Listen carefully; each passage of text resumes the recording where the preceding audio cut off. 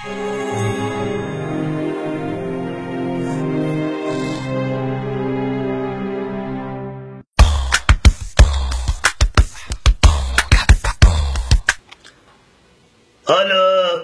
Alo buyurun. İyi günler usta karım. İyi günler. İyi günler usta karım, iyi günler. Ee, usta karım, ben İstanbul'da Galata Köprüsü altında denize nazır bir bankta yaşıyorum. Parasızım ama çok mutluyum usta karım. Oo ne güzel ne güzel.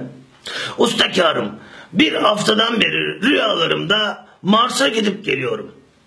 Mars'ta bir ticarethane açtım.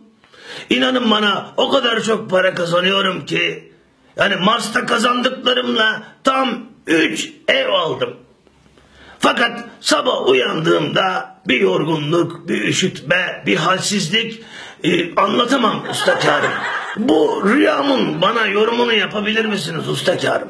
Tabii ki yaparım yorumunu. Şaşkın biraderim. O yorgunluk yol yorgunluğu. Ee, kolay değil her gece Mars'a gidip gelmek. O üşütme ise biraz da kafadan bence. Mars'ta zengin, dünyada gariban olunca insan ister istemez kafayı üşütebilir. Bu işin bir çözümü var.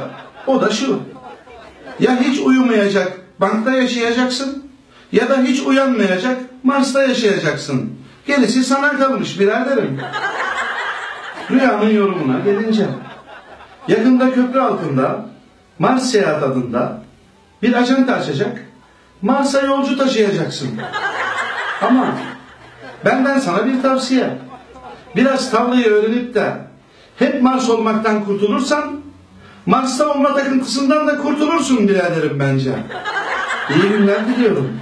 Sağ olun usta karım, sağ olun, sağ olun. Çok aydınlandım.